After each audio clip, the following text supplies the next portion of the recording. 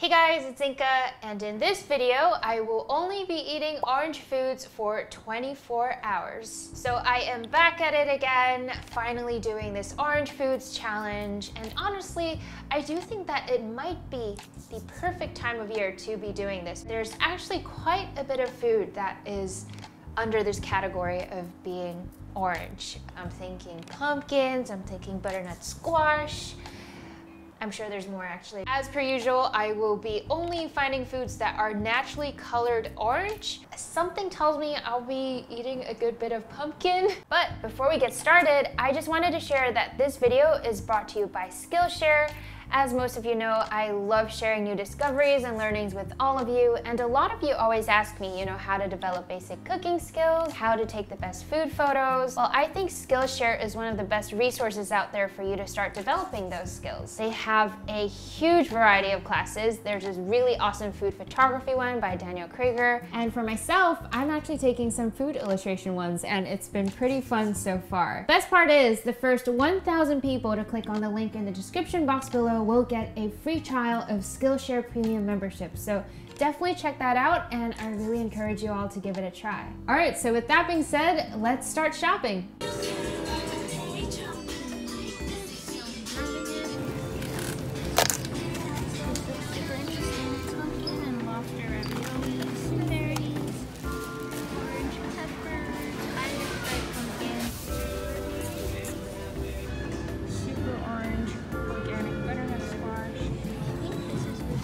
Good morning, everyone. It is Orange Food Day. Super excited to get started with breakfast. And here is what I have.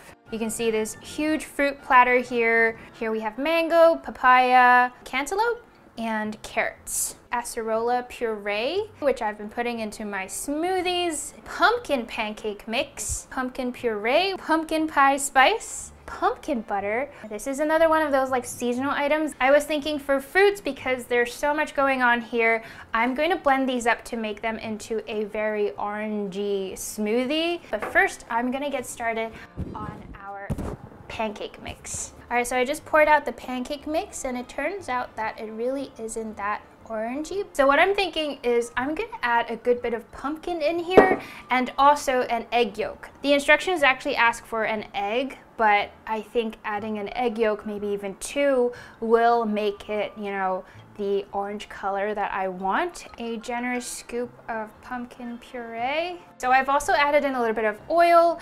The last thing I have to add into this is actually some water. But, and I don't know if this is kind of crazy, I'm actually gonna try and substitute some of that with orange juice. Look at this color. It's definitely like a thicker consistency and I think that has to do with all the stuff that I put in, you know, the pumpkin and not really following the box instructions. I'm gonna add a little bit of this pumpkin spice now. It smells so good. I'm just going to go ahead and scoop some on here. All right, so that's pancake number one. So while I'm waiting for this to cook on one side, I'm gonna get my smoothie going. My carrots, cantaloupe, papaya, mango, acerola, which has now melted. So hopefully it's gonna balance out that sweetness. I'm also adding in some more orange juice. This is truly the most orange of orange smoothies. Let's go. Oh my God, all right. And that's it, smoothie is done. Now back to our pancakes. So I just flipped it and this is what it looks like. It is definitely a little more brown than anticipated. So I'm gonna make another one and make sure that the sides aren't as brown as this one. Breakfast is almost complete. All right, I am finally sitting down having made my pancake. I also plated it up a little bit. This is what I have. So we have the smoothie over here, which is a gorgeous orange. And then um, over here, there's the pancake that I've kind of tried to plate it up nicely. So this is actually pumpkin puree and honey. Um, this is blood orange that I thought would be a nice touch on top. And then these are golden berries. I love how this turned out. I normally love ordering things like this at breakfast places, so that's kind of where I drew my inspiration. Also, you can't see it on here because I covered it with the blood orange, but I actually put a layer of pumpkin butter underneath. These pancakes also smell very, very nice. It just smells so like cinnamony and pumpkiny. All right, gonna go for it. There's definitely a lot of pumpkin in there, but there's a tartness that I actually think is coming from the orange juice. That was a little unorthodox. I don't think people normally put orange juice in their pancakes. The flavor, after a while though, ties in together, so it's a little more sour, but not in a bad way. It almost reminds me of like mochi pancakes. This is like pumpkin orange mochi pancakes. If I eat it with the pumpkin puree, it's pretty good. I just feel like it's a very like harvest fall themed um, breakfast. Whew. I will say though that this is extremely filling. Can't go wrong with smoothies, I really think, especially when there's so much like sweet fruits in there, like the mango and the papaya. Also, I just love this color. This is a pretty big breakfast though, I would say. It almost feels more like a brunch. I think it's gonna take me some time to work through it. I will see you guys again later for lunch. Alvin came by to drop off the pasta sauce. Thanks, Alvin. All right, so Alvin just dropped off this sauce, this pasta sauce that smells really, really amazing, um, which I'm not surprised by. It's Alvin. I gave him the butternut squash I bought earlier, and he transformed it into this creamy, sweet and savory sauce that has like a really wonderful nutty flavor. But that also means that for lunch today, I am most likely going to go with some sort of pasta. Here's what I have.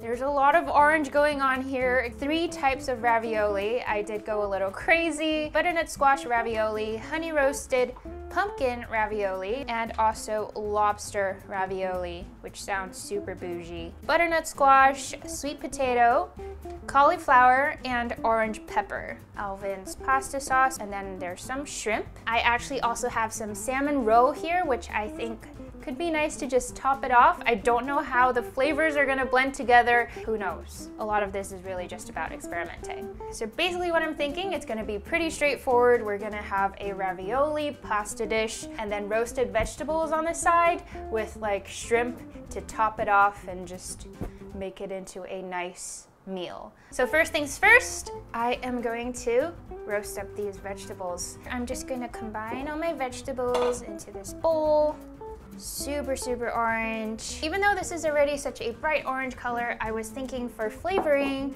apart from just like your usual salt and pepper, I'm going to add in these two powders. One is red curry powder, one is turmeric. There we go. Drizzle of oil.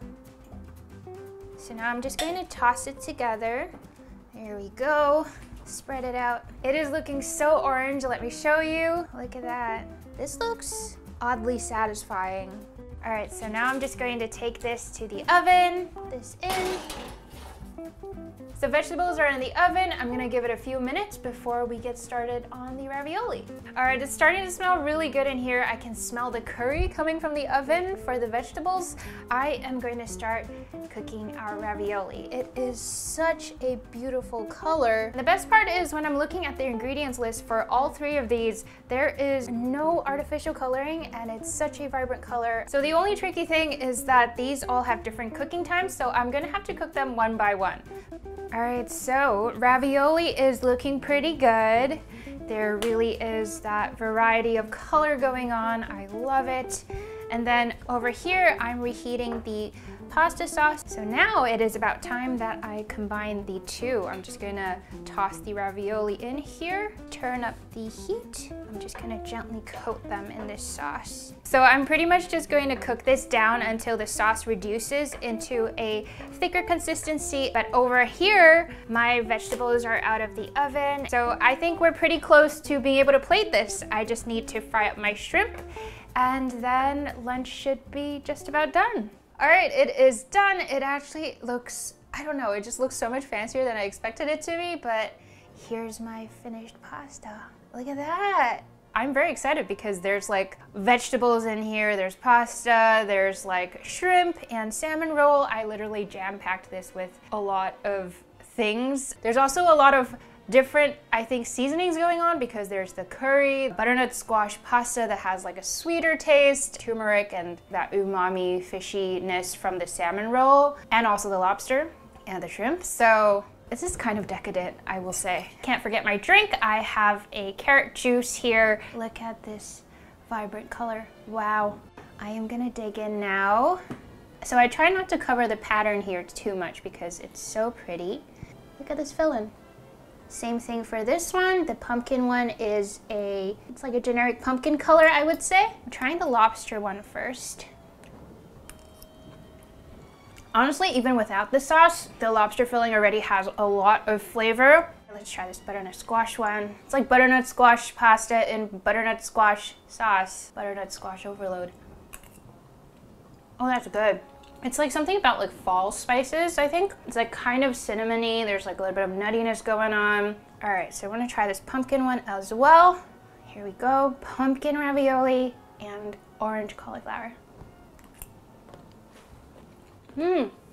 So at first I wasn't sure about the curry part of this, but, and hear me out, it actually kind of works. There's just enough curry powder that I think, I don't know, it just blends together with that like nuttiness I was talking about. I'm like genuinely surprised. Also going to try the shrimp that I just very simply pan fried again with some curry and enjoy that with the pepper and a little bit of salmon roe.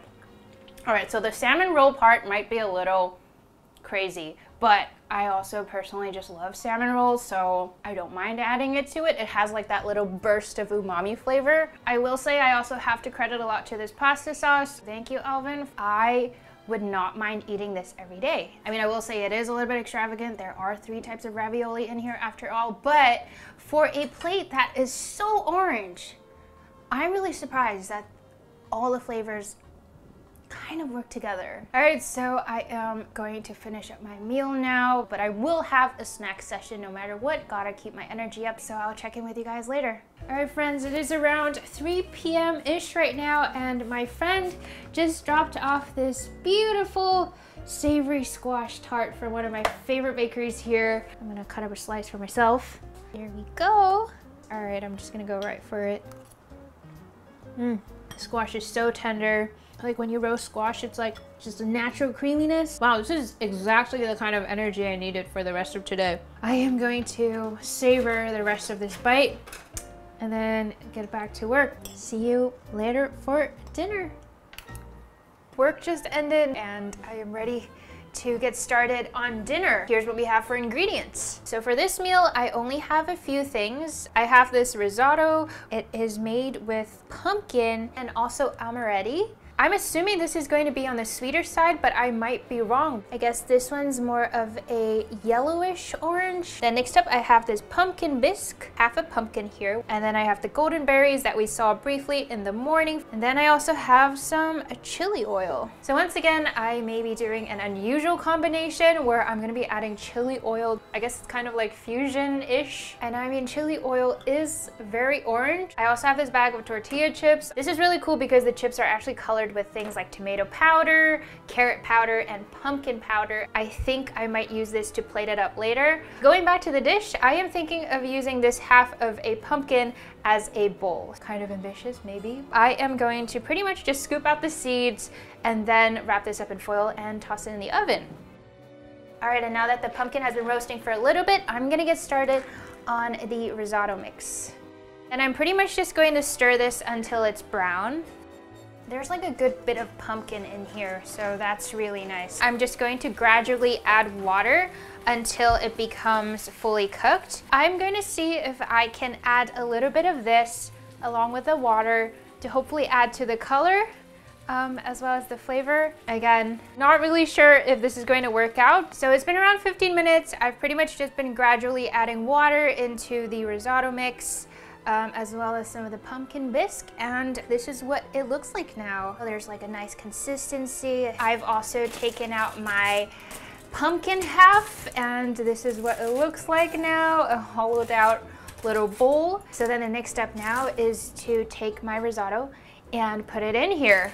All right, it is coming together. I have my little pumpkin bowl. I am going to very quickly drizzle on this chili oil on top. Pretty much what's left is to just plate up the rest of this dish and then dinner will be served. All right, and it is done. I can finally sit down and this is dinner for today. Look at that. You can see the golden berries on top, the risotto, the pumpkin, and the tortilla chips at the bottom. Looks pretty good, right? Honestly, this idea could be great for like if you have some sort of chip dipping in the middle, maybe like an orange themed one. Let's dig in.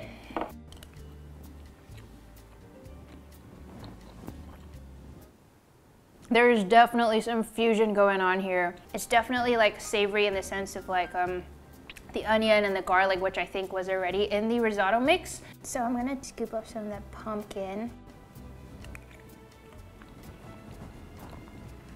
It's like super pumpkiny, which makes sense. But the texture of the pumpkin, because it's been roasted in the oven for a while, it's so soft. It adds to the creaminess of the dish. Now this is me thinking, like, can you imagine this, but with like pumpkin bisque in the middle or pumpkin soup? Ooh, that would be so good. So the chili oil does obviously have a kick to it. So it almost changes the dish completely into something else. It's not a bad thing. It makes the two bites I had taste like two completely different meals. Mm. Also, I forgot to say that I have my mango passion fruit tea here.